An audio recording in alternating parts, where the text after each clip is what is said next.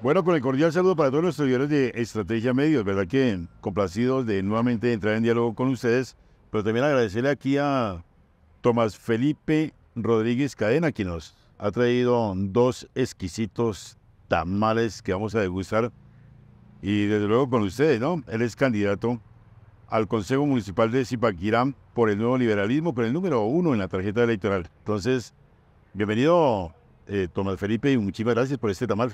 No, a usted muchas gracias, don Alfonso, por la invitación, por haber aceptado aprobar este tamal y un saludo muy especial a toda la ciudadanía de Zipaquirá que nos ve a través de este medio. Bueno, por estos días el tamal, la lechona, bueno, esto es como en diciembre, los buñuelos, la natilla, el vino, pero bueno, se nos quiso adelantar algo por el tema de las elecciones, ¿no? El tamal. Sí, claro, ahorita el tamal es muy popular en época electoral y pues no quisimos ser la excepción. También sacamos nuestra propia versión del tamal que tiene unos ingredientes bien particulares. Pues muy bien, pues vamos a, a degustar este tamal y ese tamal usted lo ha querido ofrecer de esta forma. Vamos a hablar de, de, este delicioso tamal que usted hoy trae para que la ciudadanía lo deguste. Así es, don Alfonso, pues este es nada más y nada menos que el tamal anticorrupción con los 10 ingredientes para sacar adelante nuestra ciudad. Contiene una presa grande de seguridad, una dosis generosa de educación, abundante cultura y por supuesto los demás ingredientes que son los temas principales que quiero abordar en esta campaña. Muy bien, pues vamos a hablar de, de, del tamal, pero bueno, una novedad, ¿no? Una forma muy novedosa de, de usted dar a conocer precisamente la propuesta como candidato por el nuevo liberalismo al Consejo de la Ciudad con el número uno. ¿Cómo se le ocurrió esta, esta idea, Tomás, Tomás eh, Felipe? Bueno, don Alfonso, pues esto es un trabajo colectivo. Eh, nos dimos cuenta que en Zipaquirá las campañas políticas tradicionalmente ofrecen prebendas para ganar las elecciones, ofrecen lechona, ofrecen fiestas, ofrecen regalos. Y nosotros en un ejercicio pedagógico con el equipo de trabajo llegamos a que necesitábamos hacer pedagogía con la gente. Mm. Y sacamos esta herramienta con la cual queremos enviar dos mensajes principales. El primero de ellos es que le digamos no a la politiquería, que no recibamos eh, prebendas, sino que consumamos ideas, como las ideas que están aquí contenidas en este tamal. El otro mensaje que queremos darle a la ciudad y significar con este tamal es que la ciudadanía tiene un apetito de soluciones, tiene un apetito de propuestas. Y por esto este, este tamal quiere saciar ese apetito que hay en la ciudadanía de acciones políticas de verdad. Sí, o sea, aquí es trabajar, obviamente, haciendo el control político. Si usted llega a ser concejal del municipio de Zipaquirá, hacer el control político, pero con énfasis en, en varios, es como dicen, varios ingredientes que tiene el municipio de Zipaquirá y que son primordiales para sacar adelante esta ciudad. Sí, Alfonso, y qué bueno que lo mencione ese punto, porque nosotros los concejales tenemos unas funciones muy específicas. Mm. Y por eso los ingredientes que tiene este tamal, nosotros le hemos añadido uno, uno muy especial, que tal vez es el ingrediente secreto y es nuestra fórmula a la alcaldía de Zipaquirá. Este tamal sin ese ingrediente adicional, que es nuestra fórmula a la alcaldía de Zipaquirá, no será posible. Mm. Por eso todos los, los ingredientes, todos los puntos que tocamos acá van de la mano con nuestra candidata a la alcaldía de Zipaquirá, que tiene una gran hoja de vida y por supuesto una gran experiencia laboral, y ese es nuestro ingrediente secreto también. Muy bien, candidata, o sea, la candidata es la ingeniera Nidia Corredor, ¿cierto? Exactamente. Nuevo liberalismo, claro. Claro es nuestra candidata a la alcaldía y con ella hemos construido un plan de gobierno, pero también eh, yo he querido acompañarla con estos puntos y ella ha estado de acuerdo con esta estrategia y sin duda ella es el ingrediente secreto también de este tamal, que está muy de acuerdo con esta receta especial. Muy bien, bueno, ¿cómo ha recibido la gente esta propuesta a través de, de este tamal? Bueno, Alfonso, eso ha sido, yo digo que la campaña más divertida que yo he visto y que he podido experimentar porque... Novedosa, ¿no? Sí, pues tiene muchas, muchas anécdotas. Hay gente que piensa que es un volante para ir a reclamar un tamal. Entonces ahí yo les digo, no, esto es para alimentar la conciencia y no solo el cuerpo, que es lo que necesitamos en este momento. Em, pero se han recibido comentarios muy positivos. Ha sido una experiencia muy positiva y realmente quiero agradecerle a la ciudadanía de Zipaquirá porque me han acogido muy bien a través de esta herramienta pedagógica, han acogido muy bien la propuesta. Es una herramienta que la gente no vota, o sea, no vota a la basura. No la vota, no se lo lleva, mire. Sí, Llevan a la familia para darle la parte... No, no la vota, pero sí la, intención es que voten. La intención es que voten en las urnas, que no voten en tamal. sí, sí, Bueno, pero bueno, aquí, dentro del tamal dice el tamal anticorrupción. Y usted pertenece al nuevo liberalismo desde hace un buen tiempo. Y es que precisamente el nuevo liberalismo con el doctor Luis Carlos Galán, que en paz descanse, que fue inmolado, sacrificado, precisamente porque estaba en contra de la corrupción. O sea, ahí están bien acordes con los principios que dejó este gran líder a nivel nacional, inclusive a nivel internacional, porque fue un personaje que no sabemos cómo hubiera sido el cambio de nuestro país si no lo hubieran asesinado.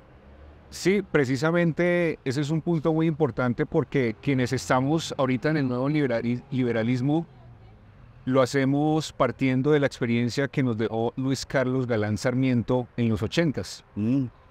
El país en esa época vivía eh, un momento de extrema violencia y Luis Carlos Galán nos enseñó que era posible hacer política sin necesidad de tomar las armas como muchos de pronto en ese momento optaron por la vida armada, Luis Carlos Galán demostró que se, que se podía hacer política sin armas y únicamente con ideas. Él tal vez dijo algo que hoy es realidad con el renacimiento del partido, que a los hombres se les puede eliminar, matar, pero a las ideas no, solía decir él.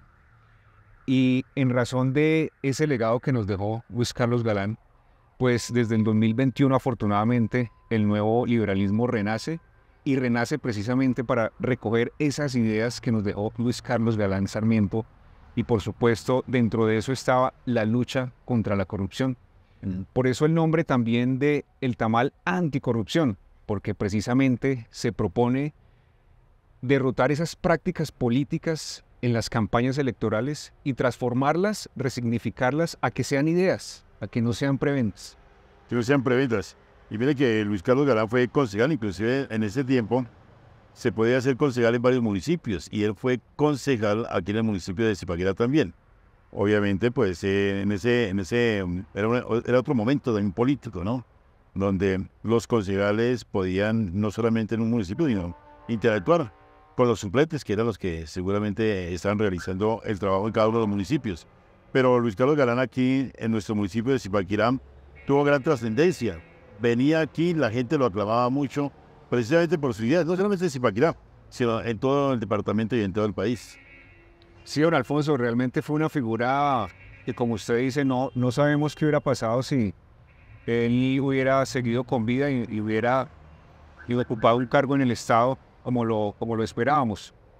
Eh, Zipaquirá es muy galanista, muy galanista y se lo digo porque en las elecciones de Congreso pasadas y presidenciales, eh, en la consulta presidencial, era cuando después de más de 30 años nosotros volvíamos a la escena política como nuevo liberalismo. Aquí en Zipaquirá éramos tres o cuatro personas haciendo campaña eh, a favor del nuevo liberalismo en ese momento y nos sorprendieron los resultados. La verdad tuvimos unos resultados muy positivos aquí en Cámara y en Senado. No alcanzamos curules, pero sí obtuvimos un resultado bastante positivo. Y eso nos animó a continuar con este trabajo y ahora estamos enfrentándonos a estas elecciones territoriales y queremos decirle a la gente que somos un partido antiguo, pero somos un partido nuevo a la vez, desligado de todas las maquinarias que existen hoy en el municipio. No, y es un partido con ideales, y afortunadamente los ideales se han ido perdiendo. Pero mire, ese, legado de, Luis Carlos Galana al día de hoy, inclusive desde antes, porque Luis Carlos Galán también fue un gran admirador de Jorge Nícer Gaitán. Y él terminaba su discurso siempre diciendo, ni un paso atrás, siempre adelante, y lo que ha de ser menester que sea. Que sea. Así es. o sea, era siempre para adelante, ni un paso atrás. Era siempre en contra de la, corrupción, a favor de la ciudadanía, a favor del pueblo. Y bueno, y fue sacrificado presidente porque puso en blanco y negro y contra las cuerdas a la delincuencia en aquel entonces. Exactamente, eh, Alfonso. Realmente ese espíritu galanista es el que queremos recoger y seguir en esa lucha que no termina, porque lamentablemente los problemas que Luis Carlos Galán evidenció en ese momento son los mismos problemas que hoy tenemos.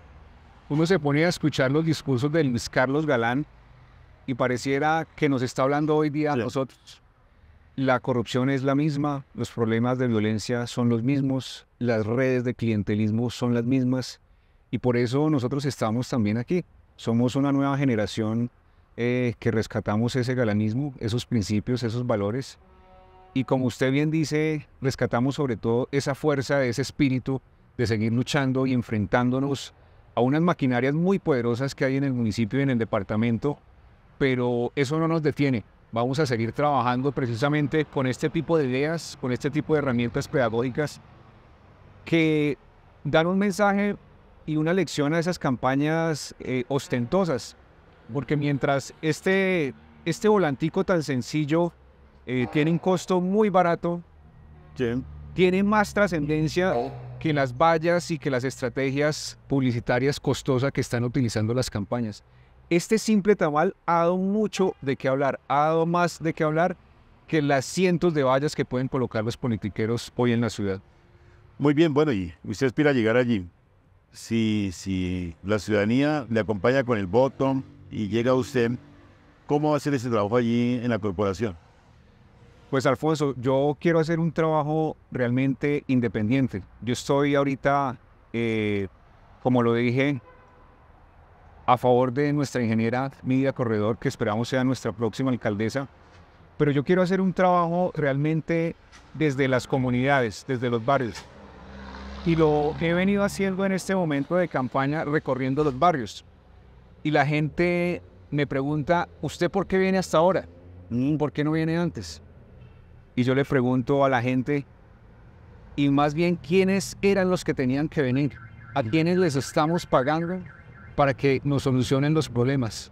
Y la gente dice, sí, efectivamente, tenemos 17 concejales, tenemos un alcalde, tenemos unos secretarios que deberían estar atendiendo los problemas de la ciudad.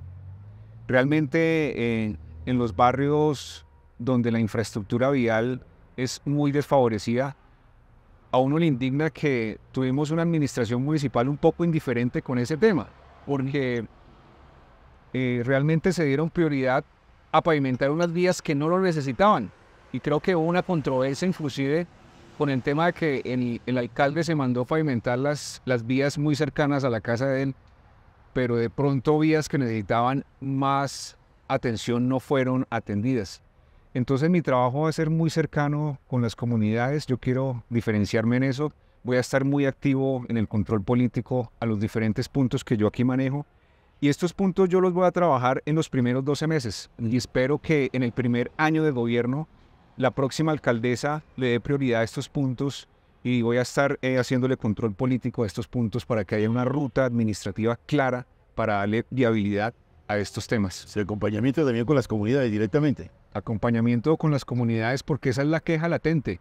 Los políticos de Zipaquirá, yo en este momento soy un ciudadano común y corriente, pero uno nota y uno siente en la ciudadanía que los políticos son muy indiferentes a la ciudadanía. No, no tienen una capacidad de escucha una vez son elegidos. Entonces, eh, yo voy a generar espacios para tratar esos temas que son importantes para nosotros. Pues muy bien, la gente se pregunta también quién es Tomás Felipe Rodríguez Cadena, candidato al Consejo Municipal por el Nuevo Liberalismo con el número uno de la tarjeta electoral. ¿Quién es usted? ¿A qué se ha dedicado? ¿Zipaquireño o no es zipaquireño? ¿O llegó aquí? Bueno, claro que dice que el que llega aquí a Zipaquirá es zipaquireño por adopción. Sí, por adopción. Bueno, yo soy zipaquireño de nacimiento. Yo nací aquí en el hospital que queda frente, en la clínica que queda frente a la estación del tren. Toda la vida he vivido en Zipaquirá, excepto algunas excepciones que he tenido que salir de Zipaquirá por cuestiones laborales. Yo estudié en el colegio La Salle, el bachillerato, y luego hice una carrera técnica en administración de empresas agropecuarias Eh, enseguida estudié ciencia política en la Universidad Nacional de Colombia y luego hice una especialización en gobierno electrónico en esta universidad también. Tengo más de 10 años de experiencia laboral en el sector público y en el sector privado y estoy listo pues para servir a mi ciudad. Estoy preparado para esto. Estoy ya listo, considero que la ruta más adecuada de un político, en mi concepto, es que primero se debe estudiar, primero se debe trabajar, adquirir experiencia de vida y luego sí eh, servirle a la ciudad.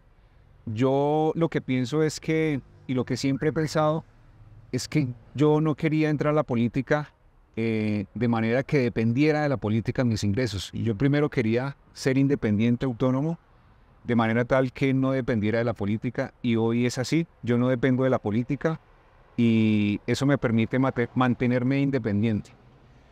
Pues muy bien, Tomás Felipe, pues mucha suerte. Mire, ahí está entonces la comunidad, lo que usted quiera expresarle a ella para finalizar esta nota. Bueno, y con, con estos deliciosos tamales que nos ha permitido en el día de hoy. Bueno, eh, ciudadanía de Zipaquirá, yo soy Tomás Felipe, un zipaquireño más.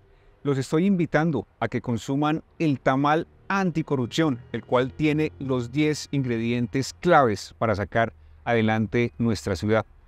Los invito a que me permitan ser su candidato al Consejo, marcando en la tarjeta electoral el logo del nuevo liberalismo y el número uno.